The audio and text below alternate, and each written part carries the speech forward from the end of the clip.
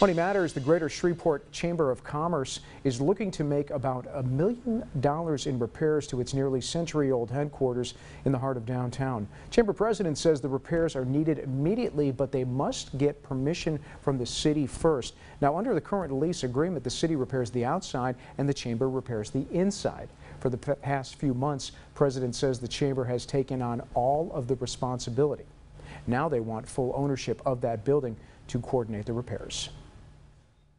As, you, as with any 100-year-old building, it's starting to show its age. And so we're at a point now where we've got a hole in the roof, some of the windows are broken and leaking, and there's some uh, significant work that needs to be done on the HVAC system. City Council will discuss and take a vote on this matter during their next meeting on September the 28th.